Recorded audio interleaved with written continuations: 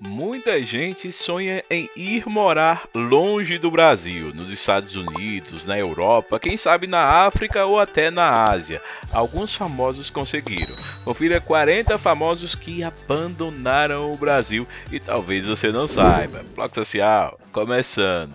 Vamos começar por Alice Braga. Ela foi uma grande atriz e é, mas quando estourou em Cidade de Deus, ganhou espaço lá fora e foi morar nos Estados Unidos. Hoje está fazendo muito sucesso em várias séries e filmes de Hollywood. Muito sucesso para ela que está morando em Los Angeles desde 2012.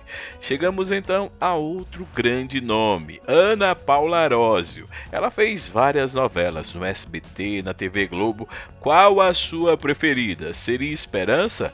Bom, Ana Paula Arósio pediu demissão da TV Globo em 2012 e muita gente não sabe, mas desde então ela está morando lá na Inglaterra. Muita gente sonha em vê-la de volta nas novelas aqui no Brasil, mas eu acho meio difícil.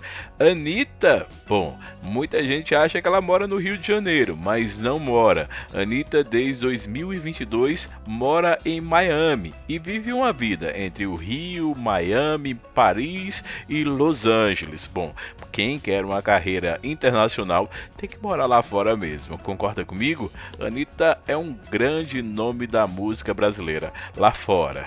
Tem também Bianca Comparato. Ela fez novelas como Malhação, Senhora do Destino e outros sucessos aqui no Brasil na TV Globo. Mas desde 2017 e 2018 ela fez a série 3% da Netflix e foi morar lá nos Estados Unidos. Recentemente ela participou de Grey's Anatomy, uma série que faz muito sucesso no mundo inteiro e está brilhando por lá. A blogueirinha, muita gente adora, um ícone da internet brasileira e muita gente acha que ela mora aqui no Brasil. Será que em Rio, São Paulo? Não.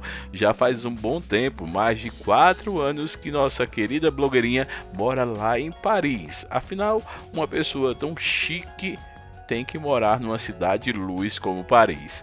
Chegamos então a Giovanna Eubank e Bruno Galhaço, casal de atores e apresentadores super famosos nas novelas da TV Globo e também na internet, mora em Portugal desde 2022.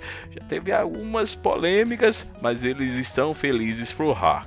Voltam para o Brasil só para trabalhar e retornam para Portugal. E aí, toparia essa vida? Carla Pérez fez muito sucesso com o grupo El Cham, muita gente lembra. Xande fez muito sucesso com o grupo Harmonia do Samba, mas eles moram em Orlando já há cerca de 5 ou 6 anos. Retornam ao Brasil somente a trabalho. Os filhos moram lá, estudam lá e dão muito orgulho para esses pais. E aí, toparia essa vida só voltar ao Brasil para o carnaval? Carlos Casagrande fez várias novelas da TV Globo, muita gente lembra. Foi galã de Paraíso Tropical, atuou em Mulheres Apaixonadas e trabalha vendendo imóveis já lá na Flórida há cerca de 4 anos. Se vai voltar ao Brasil, ninguém sabe. Por enquanto, segundo ele, está muito feliz na terra do tio Sam. Pode? Tem também Cláudia Leite, que muita gente acha que ela mora na Bahia. Pois é, mas não mora. Cláudia Leite mora lá em Los Angeles já há cerca de 4 anos. Ela leva ferrenhamente a carreira internacional a sério. Ela faz vários eventos como a NBA, entre shows para brasileiros e está criando os filhos lá na Califórnia. Pode? Tem também Eric Marmo, que fez sucesso em Malhação não, por que não Mulheres Apaixonadas quando namorava a personagem da Carolina Dickman? Ele mora lá nos Estados Unidos há cerca de 8 anos. É técnico de futebol, trabalha com telemensagem, faz entrega para a esposa e também é ator. Não pensa, pelo menos por enquanto, em retornar ao Brasil. Evaristo Costa pediu demissão da Globo em 2017, dizendo que queria um ano sabático. Já faz quase uma década que ele está morando na Inglaterra junto com a mulher, estudando, só retornou ao Brasil em meados de 2021 para trabalhar na CNN Brasil. Assim que terminou o contrato, ele já retornou para a terra do Rei Charles. Chegamos a Everton de Castro, ele que fez novelas como Quinto dos Infernos acho que não vai lembrar, mas Rock Santeiro com certeza. Fez várias novelas como Escrava Mãe lá na Record hoje mora nos Estados Unidos. E recentemente ele teve um problema com a Globo na justiça e teve que pagar uma multa por desistir de uma novela. Então, acho que vai ficar por lá. Felipe Simmons fez novelas como Salve-se Quem Puder, Malhação, foi galã em várias novelas da Globo e tá aí com sua família três filhos. Ele morou cerca de um ano e meio lá na Califórnia. Muita gente dizia que ele iria ficar por lá, iria ser um astro de Hollywood, mas ele já retornou ao Brasil junto com a família. Será que ele vai voltar? Sim ou não? Rodrigo Hilbert e Fernanda Lima são dois dos mais conhecidos apresentadores e ex-modelos do Brasil. Eles moram em Portugal desde 2021 retornam ao Brasil para fazer propagandas, comerciais, gravações de programa e rapidinho os filhos ficam lá em Lisboa, Portugal.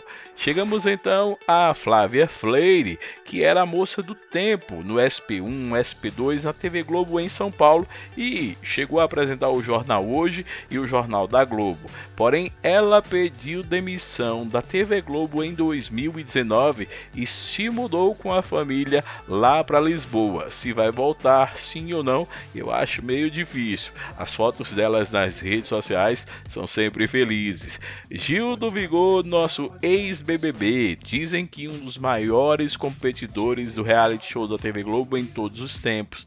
Ele mora na Califórnia, onde estuda o seu PhD. Gil diz que quer ser ministro da Economia do Brasil e, quem sabe, presidente da República. Bom, esse pernambucano voa longe pelo mundo.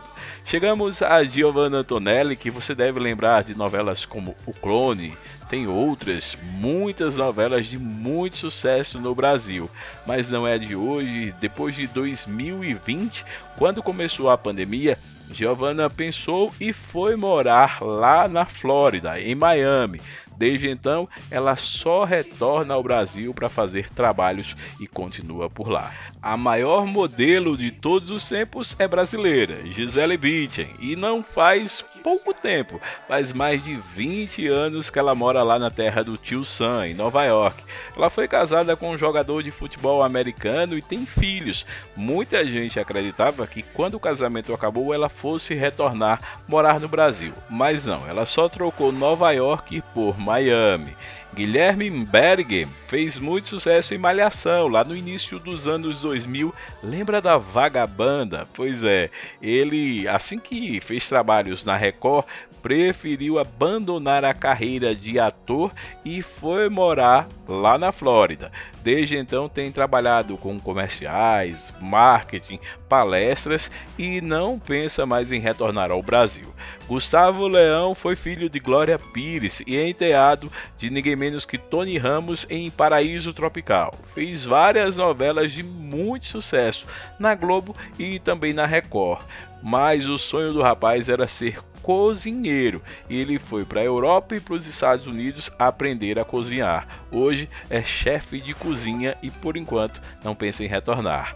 Isis Valverde e Marcos Buais, o ex da Vanessa Camargo, moram numa mansão de cerca de 15 milhões de dólares lá na Flórida. Pois é, ele se separou da Vanessa, ela casou com ele, hoje está grávida, formando uma família e muita gente acredita que eles vão sim ser muito felizes. Felicidades para o casal.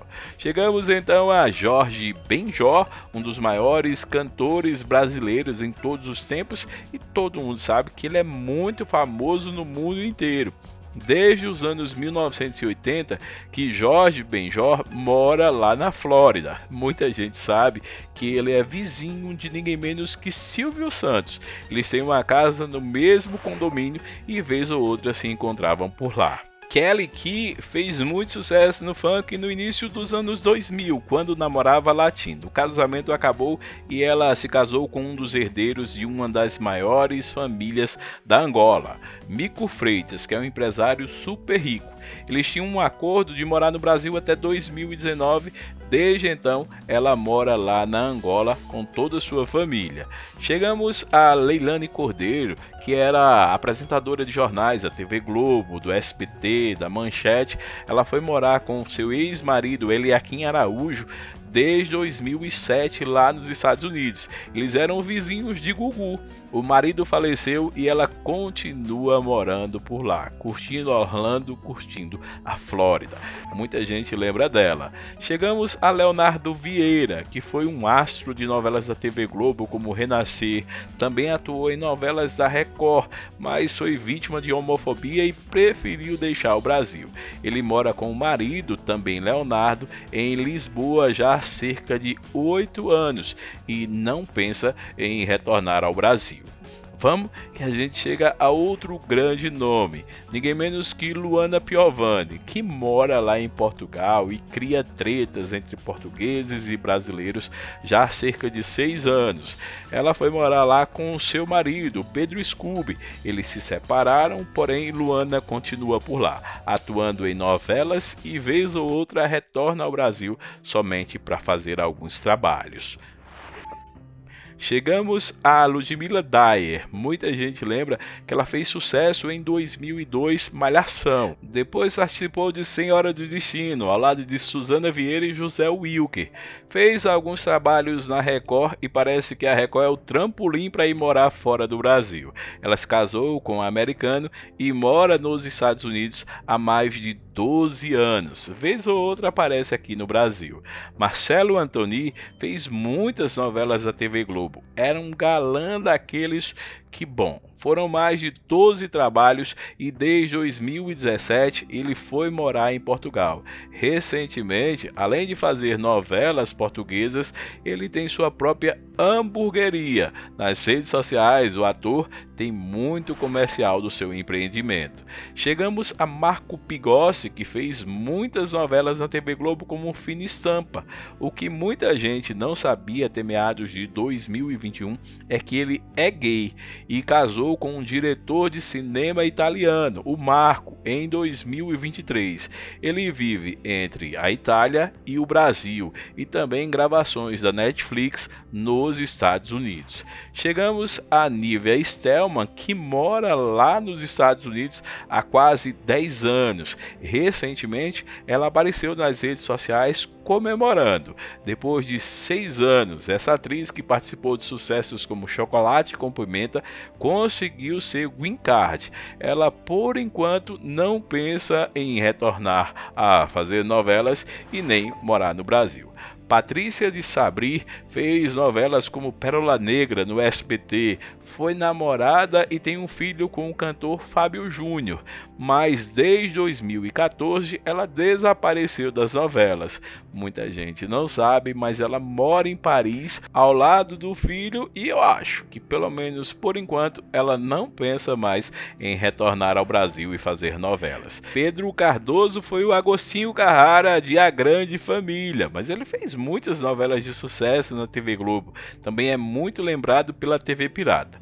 Em 2015 fez algumas propostas, a Globo não quis e desde então ele mora lá em Portugal. Só retorna ao Brasil para fazer algum evento teatral ou alguma participação em programa de TV.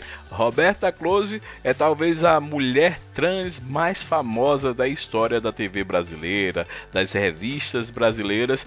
Ela que nos anos 1980 era uma febre nacional.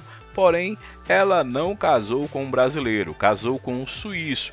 Desde o final dos anos 1980, ela mora por lá, é considerada uma grande dama da sociedade. Chegamos a Rodrigo Santoro, que fez algumas novelas na TV Globo. Muita gente lembra de Hilda Furacão, por que não Por Amor? Mas desde o início dos anos 2000, Rodrigo foi tentar a carreira lá em Los Angeles e mora por lá. Fez vários filmes como 300, séries e continua apostando em sua carreira internacional. Chegamos a Seu Jorge, que também brilhou na música, brilhou no cinema em Cidade de Deus e desde 2018 também mora em Los Angeles. A carreira de seu Jorge é uma das mais bem-sucedidas de atores e músicos brasileiros nos Estados Unidos e na Europa. Faz muito sucesso grande talento a gente sabe que ele tem. Sônia Braga fez novelas nos anos 70 na TV Globo. Dancing Days, Gabriela, foram muitos os sucessos, mas ela que nunca quis ter filhos, desde os anos 1980 se arriscou no mundo, foi morar nos Estados Unidos e já fez vários filmes. É considerada uma das atrizes brasileiras que mais fizeram sucesso na história. Wagner Moura, também baiano, segue os passos. Já atuou em várias novelas da TV Globo, mas se arriscou na carreira internacional. Já morou na Colômbia, onde gravou Narcos e hoje faz sucesso com sua Guerra Civil em Hollywood, uma grande promessa brasileira que continua fazendo sucesso. Chegamos então a ninguém menos que Zilu Camargo, ela que era casada com Zezé de Camargo por mais de 20 anos, mãe da Vanessa Camargo, de repente foi passar um fim de semana em Miami, se apaixonou pelos Estados Unidos e já mora por lá, com um novo marido em uma mansão de 15 milhões há mais de 6 anos. Ela não sonha em voltar ao Brasil, conseguiu seu green card. E aí, você teria coragem de deixar o Brasil? Sim ou não? Clock Social.